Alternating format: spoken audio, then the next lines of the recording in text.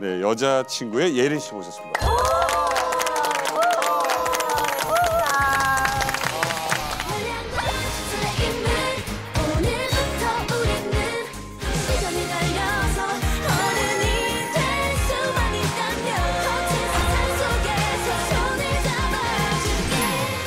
아니 북한에서 네. 노래 공연한다면 어떤 곡 하시겠어요? 이게 곡을 잘 골라야 되잖아요. 네, 그렇겠다. 그래서 저는 일단 중요하다. 저희는 이름부터가 여자친구잖아요. 부르기도 쉽잖아요, 여자친구. 어머 너무 쉽. 맞네. 그리고 시간을 달려서랑 너구리구나라는 곡이 있는데 노래가 일단은 다 한국어 가사예요. 아, 그리고 잘 들려. 그리고 맞아. 바, 바꿀 게 없어요. 그치. 안무도 바꿀 게 하나도 없고 딱이네요. 네, 그래서 그걸 보여준다면 음, 그 공무들도 참 좋아하지 않을까.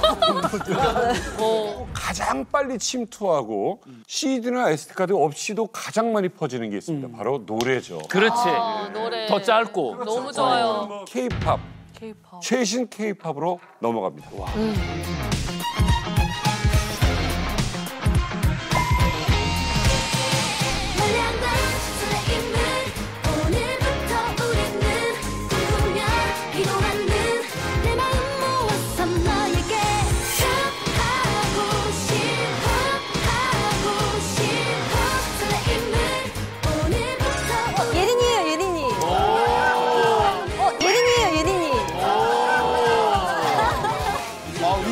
건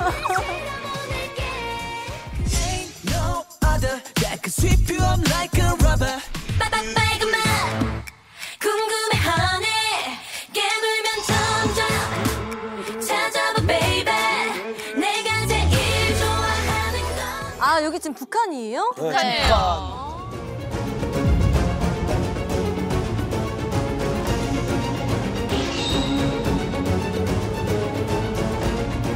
이 사회주의적인 요소가 바늘만큼이라도 스며들지 못하도록 투쟁과 교양의 도수를 높여 나가야 합니다.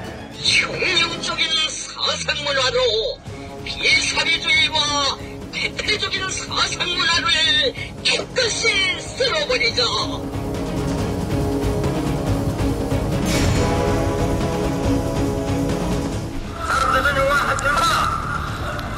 노래 75곡을 주머니 기억에 인정하여 수많은 본탱이를 감행하다 적발되었습니다.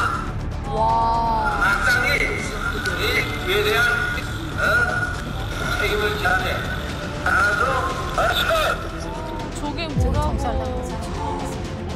자, 공개 재판을 대학생이 받았고요. 고등학생 7명 중학교 청자. 3명. 한류와의 전쟁을 선포한 김정은. 네. 김정은이 이렇게까지 단속을 강화하라라고 선포할 정도로 한류는 북한 정권에 위험할까요? 과연 이거는 진짜 무너뜨리는 길이기도 할까요? 그 정답이 여기 있습니다.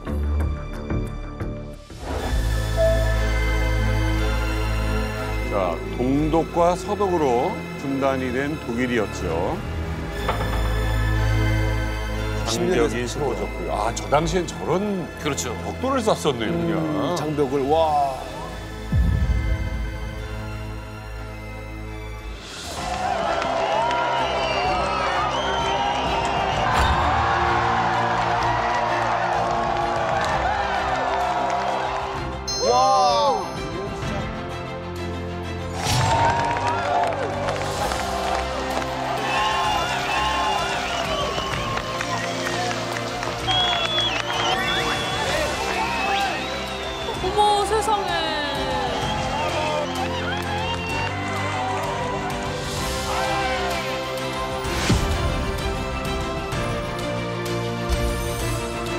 저도 TV를 시청했던 동독 구미들. 와.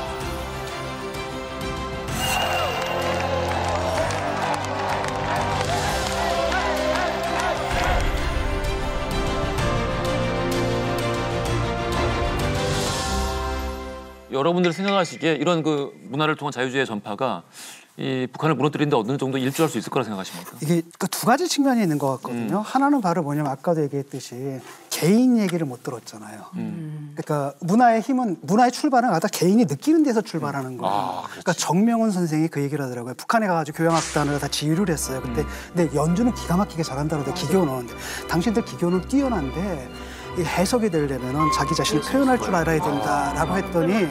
이해 못할 걸? 악장이 아무 얘기 안 하고 눈물을 쫙 흘리고 그, 그 얘기를 듣고 너무 가슴이 북한의 아팠거든요. 예술인들 다 알아. 여러분들도 대박이다. 그걸 겁니다. 여러분들 북한에서 수많은 심정 너무 알것 어, 같아요. 프로파간다 수많은 문화 콘텐츠들 줬는데 그게 나한테 하나도 안 와닿는 안 와요, 거잖아요. 안 와요. 맞아요. 그리고 또 두 번째는 이제 워낙 질이 높잖아요 우리가 대중문화의 수준이 굉장히 높거든요. 내가 볼 때 독일보다 높아요. 맞아요. 이 수준은 그리고 게다가 또 뭐냐면 뭐 여러분들이 볼 수 있는 게 이제 뭐 중국 문화 조금 봤고 뭐 러시아 문화 좀 봤는데 그거랑 완전히 차원이 다른 데다가 남한권도 언어가 통하잖아. 그러니까 정서가 통하고.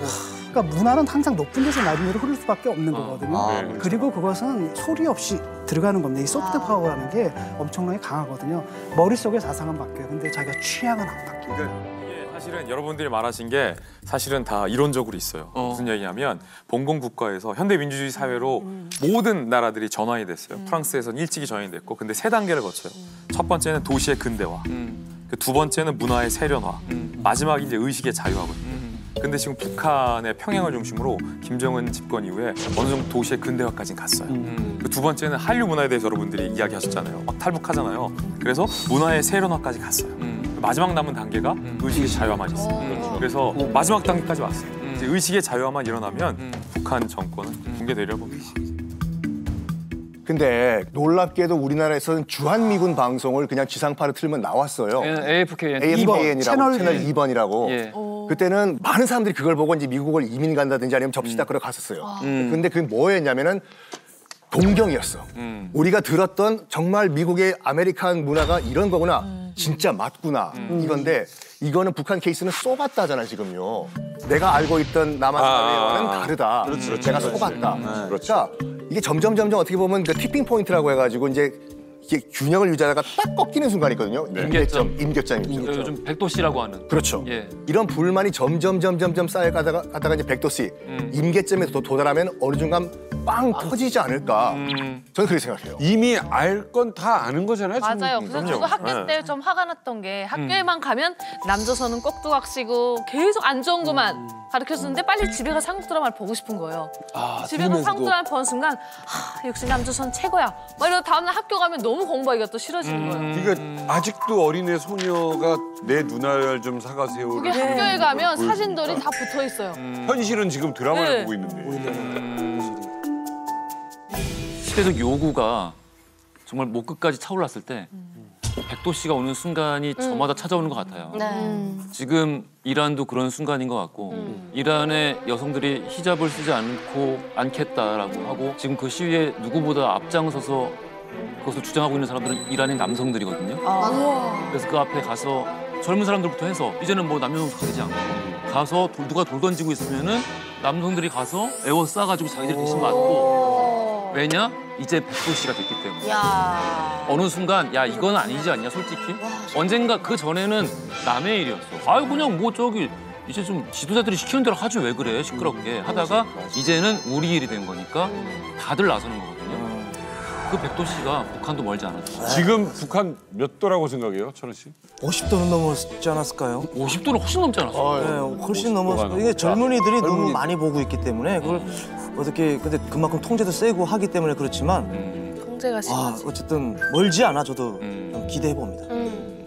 저는 98도라고 어. 북한 주민들이 보는 시각이 있습니다, 진짜. 98도가 8년, 12년 갈 수도 있어. 넘어갔어, 넘어갔어. 넘어갈 끓을까 말까 하는데 이제 자꾸 처방을 해서 불이 자꾸 꺼지는데 한편적인 예가 북한에서 조선중앙 TV로 남한의 어떤 시비를 한다거나 안 좋은 상황들을 보여줘요. 격동과 사변의 한해가 저물어가고 있지 않습니까?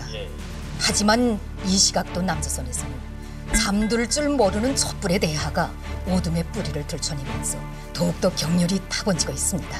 그렇습니다.